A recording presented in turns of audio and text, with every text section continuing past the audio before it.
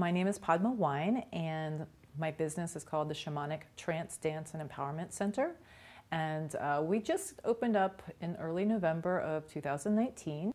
It was called to come to the Greenbelt area is because it's a beautiful central location. I live in Annapolis, um, so it just kind of sets me in the middle uh, between people living in kind of DC, Silver Spring, um, and that area. So, and then this is a great area for cultural diversity. We're here to offer empowering services to the community, such as yoga, um, guided meditation, drumming therapy. Uh, right now I have shamanic drums, and the shamanic drumming is available for people to go into a deeper state. The guided meditation, it's off with breathing techniques. We have guided music along with my voice, the Best Three Months of Life event, uh, which is a way to really improve yourself in a three month period, gives you action steps to do that. And what we do is we look at where are we today and assuming nothing else changes and we have three months to live, where do we want to be in those three months? As well as the breathe and release uh, class. And it's a very strong, strong uh, process of breathing through guided music and meditation to really surface um, grief uh, that needs to be released.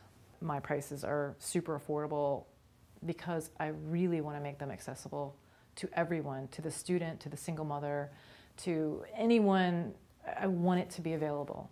Uh, we also offer free opportunities to the community to come in and just be in the space. For example, during silent meditation hour, anyone can come in for free during that hour and sit for 10 minutes, sit for the whole hour, um, just to have some peace and quiet.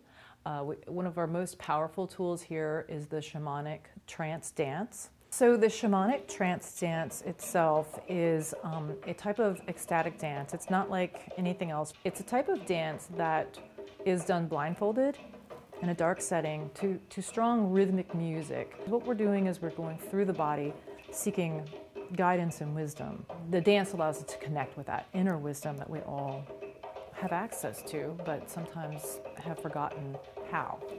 So the dances can be strong or it can be very subtle. Everyone's blindfolded, so nobody's looking around the room. And the key is to let go of the thinking process and just really drop into the body and let the body do whatever it needs to do. And it's been done in many cultures all over the world and many religions all over the world. Almost every culture has used dance as a form of connecting with something greater than themselves. Um, the Empowerment Center is a great space for anyone um, out there that is um, suffering from grief or loss or um, addiction that they're trying to kind of you know let go of, as well as put something new and um, empowering into that space.